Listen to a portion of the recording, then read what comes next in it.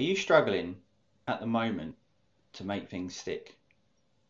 Right now, your BD activities, however good they are, however organised they are, are struggling because of a thing called COVID.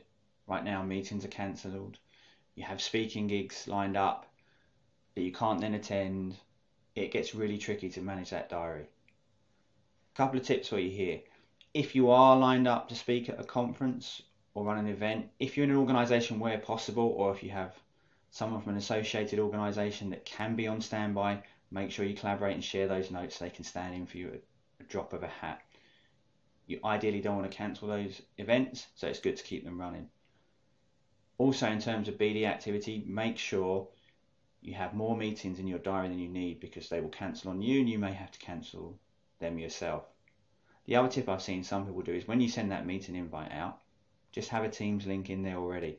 That way, if things change, you can automatically switch with no fuss to an online meeting and still keep the conversation going. So it's really important you learn how to do your BD activities in an ever changing world where things can move in any second.